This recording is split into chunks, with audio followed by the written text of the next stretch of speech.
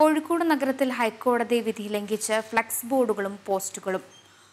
C P M പ്രചരണ പരിപാടികളും സർക്കാർ പരസ്യങ്ങളുമാണ് ഇതിലധികവും.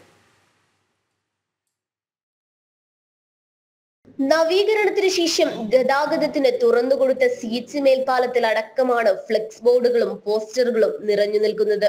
മുഖ്യമന്ത്രി പങ്കെടുക്കുന്ന പരിപാടികളുടെ ഫ്ലെക്സുകളും തെരഞ്ഞെടുപ്പ് മുന്നിൽ കണ്ടുള്ള പരസ്യങ്ങളുമാണ് ഇതിലധികവും. തദ്ദേശ സ്ഥാപനങ്ങളുടെ അനുമതിയില്ലാതെ സ്ഥാപിച്ച ഇത്തരം പ്രചരണ ബോർഡുകൾ നീക്കം ചെയ്യണമെന്ന ഹൈക്കോടതി വിധി ലംഘിച്ചാണ് ബോർഡുകൾ ഇടം പിടിച്ചിരിക്കുന്നത്.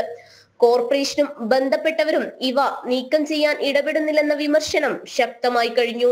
ബഹു ഹൈക്കോടതിയുടെ ഉത്തരവ് വരെ ലംഘിച്ചുകൊണ്ടാണ് ഇത്തരം അവിടെയുള്ള ഫ്ലക്സുകളെല്ലാം അഴിച്ചു നീക്കാതിരിക്കുന്നത്. ഇതിനെതിരെ നടപടിയെടുക്കുവാൻ ബഹുമാനപ്പെട്ട കോഴിക്കോട് കോർപ്പറേഷൻ സെക്രട്ടറിക്കോ ബഹുമാനപ്പെട്ട കോഴിക്കോട് ജില്ലാ കലക്ടർക്കോ ഉത്തരവിടാനോ ആയിട്ടില്ല. എന്നുള്ളതാണ് യാഥാർത്ഥ്യം. നഗരത്തിലെ പ്രധാന കേന്ദ്രങ്ങളിലെ കാൽനടപ്പാതകളിലും മേൽപ്പാലങ്ങളുടെ കൈവരികളിലും അടക്കം പരസ്യ ബോർഡുകളും പോസ്റ്ററുകളും വ്യാപകമായിട്ടുണ്ട്. കാൽനടയാത്ര പോലും ദുസ്സഹമാണ് പലയിടങ്ങളിലും. വാഹനങ്ങളുടെ ശ്രദ്ധ തെറ്റി അപകടങ്ങളും പതിവാകുന്നു. മറ്റു പല നഗരങ്ങളിലും പൊതുസ്ഥലങ്ങൾ ചുമർ ചിത്രങ്ങളാലും പെയിന്റിങ്ങുകളാലും മനോഹരമാക്കപ്പെടുമ്പോഴാണ് ഈ അവസ്ഥ.